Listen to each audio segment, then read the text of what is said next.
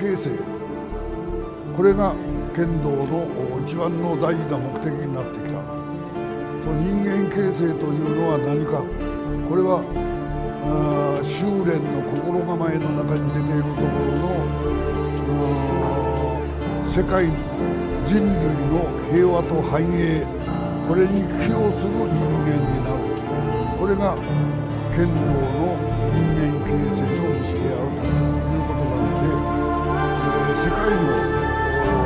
平和と繁栄に寄与できないようなものは剣道とは言えない。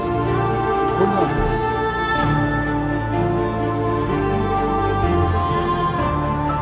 目打ち体当た。り、えー、これは剣道の心と体を作る最も大切な稽古だ。もう一つ。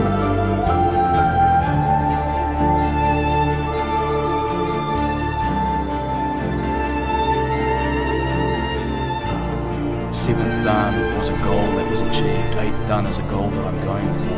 But the reality is that there really is no end to it. Is an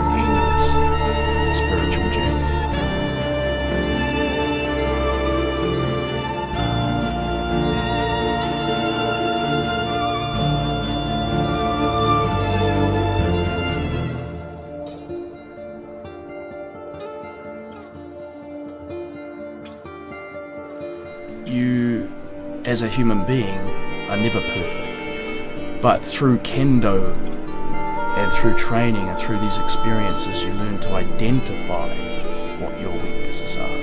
And if you want to fix them, you have to be quite humble. You have to be quite ready to accept